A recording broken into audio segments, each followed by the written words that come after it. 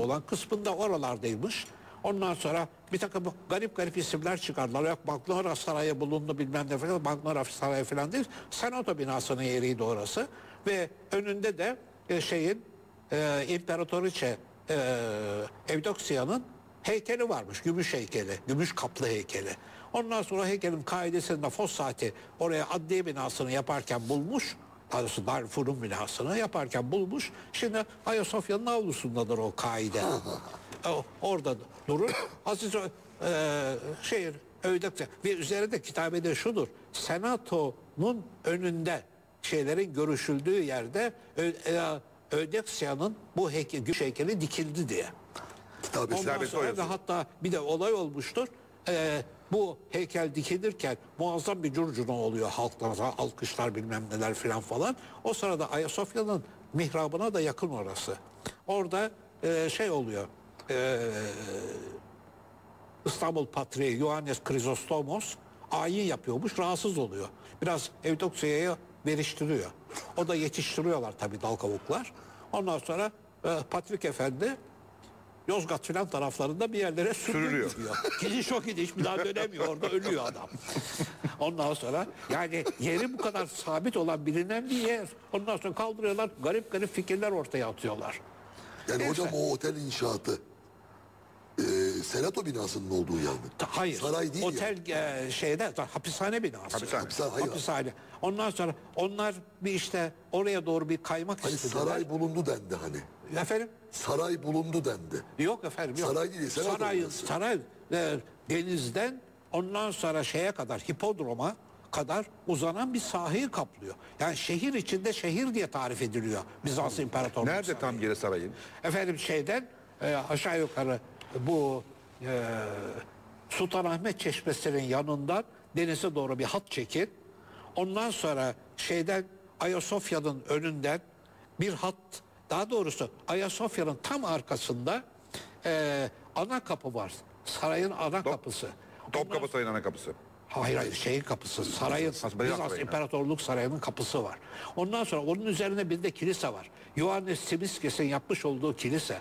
Bu kilise uzun zaman durmuş. Hatta bizim e, tarihlerdeki Aslanhane denilen yer. Orası mı? Orası. Ondan sonra üzerinde de hatta nakkaşhane de varmış. O nak- nakkaşlar orada nasıl çalışmışlar aslanlar kükrerken bodrumunda onu da anlamış değil. Fakat bu kilise Fossati'nin e, o e, Darükun'un binasını yaptığı 1840 yıllarına kadar 45 yıllarına kadar o şey e, kilise durmuş. durmuş. O hatta bazı İstanbul panorama gravürlerinde e, böyle üzerinde otlar çıkmış bir kubbe olarak görülür. Fakat ben bir Ermeni kitabında İnci Cihan'ın orijinalinde yani e, Ermenicesinde e, solo resmini buldum o şeyin. O kilisenin. Tek başına. Fakat e, bütün o tercümelerde falan o resim yoktur. Sordum ben onu Hrant'a, Hrant Andreasyan'a. Ondan sonra ya dedi bu resmi efendim dedi ben dedi o kitabın orijinalini dedi yani Ermenicesine Paris'te bir nüsha var oradan dedi kullandım. Onun içinde resim yoktu dedi. Valla ben bizim sahaflarda 5 liraya aldım bir Ermenice kitap içinde o resim var. Ondan sonra sonra Mango'da doğrudan doğruya o kilise hakkında başlı başına Danimarka'da bir kitap bastı. O da bilmiyor onu. Ondan sonra o da e, İnci Cihan'ın o Paris'teki nüshasını kullanmışlar bilmiyorlar. Ondan sonra orada resimler koparılmış herhalde içinden. Ondan sonra bendeki tesadüf sahafta sergide buldum.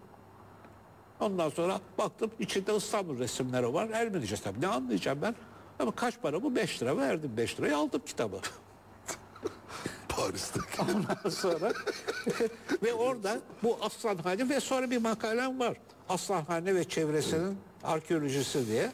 Ondan sonra bu resmi yayınladım. Sonra başka kitaplara da geçti tabii. Müller Wiener'in mesela İstanbul topografisi kitabına falan aynı resim geçti. Peki o zaman e, o dönemde saray ne zamana kadar ayakta? Efendim saray e, devamlı tabii büyütülmüş, birçok şeyler yapılmış içinde. Hatta Türk tesirli bazı yerler de var.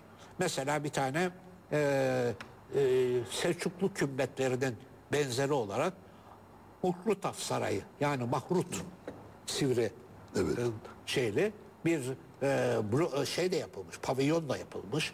Ondan sonra bir de e, oyun sahası var. Tsüganesterion dedikleri. Çevgan Ha, oyununun oynandığı yer. Ondan sonra Çevgan'ı Sükanesterion yapmışlar.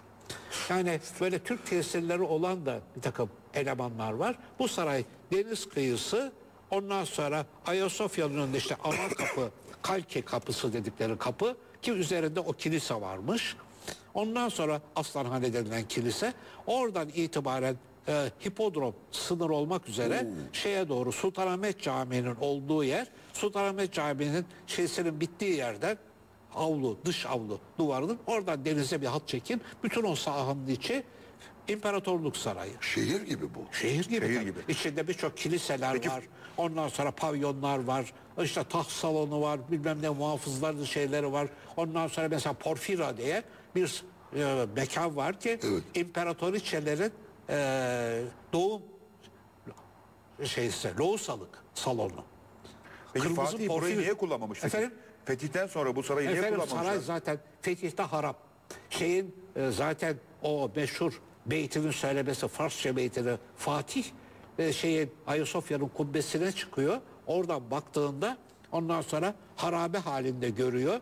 Hatta hipodromun da yarısı yıkık. Ondan sonra sarayın da e, enkazını da görüyor. Ondan sonra işte o meşhur e, beytini söylüyor. Farsça beyti. Ondan sonra saray daha 11. yüzyılda falan harap olmaya Olmaya başlamış. Hatta bazı malzemesini söküp başka yerlerde kullanmışlar. Mesela biliyoruz şeyde İstinye sırtlarında bir ziyaret kiliseleri var Bizansların. Ondan sonra e, Sinites azizler var. Yani bir sütunun tepesinde bir ömrü geçiren azizler var. Bunlar esas Suriye'de, Halep civarında var. Simeos Stinites Manastırı var. Orada esas bu işi yaratan Aziz Simeon. Hocam ne yapıyor onlar? Orada oturuyor. Sütunun tepesinde oturuyor. Ondan sonra hiç böyle ziyaretçiler geliyor bilmem ne yapıyor. Orada e, bir belki bir güneşlik bir bir şey yapıyor filan falan. Ömrü bütün ömrünün sonuna kadar bunlara Çile. stilites deniyor. E, sütun tepesinde yaşayan azizler. Bunlar tabii tesir etmiş. İstanbul'da da bir stilites çıkmış. O İstinye, e, İstinye şeylerinde tepelerinde. İstinye oradan tane- geliyor demek ki. Efendim? İstinye adı oradan geliyor. Hop, Herhalde. Ondan sonra Stilites'ten bilemiyoruz yani tam şeylerde. Çünkü o Bizans atları birkaç tane var şeydi Boğaz'da. Ya zamanımıza kadar Tarabya vesaire, gelmiş evet. olan. Ama Tarabya öyle, işte İstinye öyle. Ondan sonra e, Çengelköy, ne, Çengel ne var orada bilmiyoruz. Ondan sonra bazıları şey. Neyse biz tabii konuyu dağıtmayalım. Onun üzerine e, şey yapılmıştır. E, sütunları da oraya götürmüşler.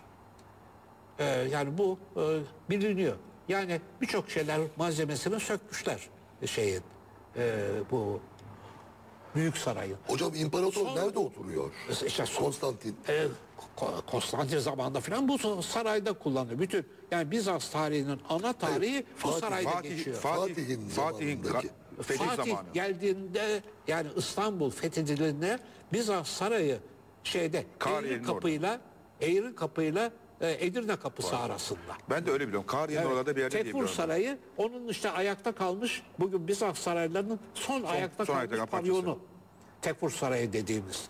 Ondan sonra oradaki e, toprak altında da bir hayli e, mahzenler, kalıntılar var. Fakat toprak üstünde bir şey yok. Görünürde Tekfur Sarayı'ndan başka. Ve Tekfur Sarayı da Osmanlı devrinde çeşitli işlere kullanılmış. Cam şeysi falan. E, o en sonrası. O e, bilmiyorum ama e, 19. yüzyılda zannediyorum şey bir ara e, Yahudihane olarak kullanılmış.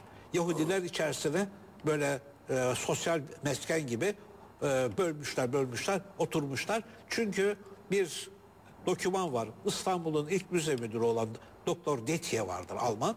O bir tane sulu boyayla bir resim yapmış. Bu resmi